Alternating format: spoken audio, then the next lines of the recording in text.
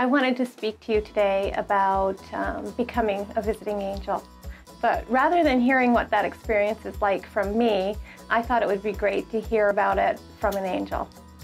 I had been a stay at home mom for a long time. My youngest child was growing up and uh, didn't need me as much.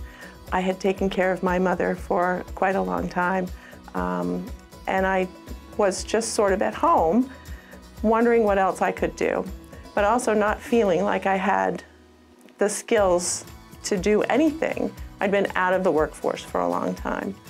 But when I saw the ads for Visiting Angels and the things that they do, I thought that that's really, that's what I do every single day. I take care of people, I go to appointments, I cook meals, I do laundry. I know how to do this. And so when I called up and talked to Alicia and everyone at Visiting Angels, they were very encouraging. Um, and it made me feel like, yeah, I do have a set of skills, something really that I can that I can do every day to contribute and to help other people.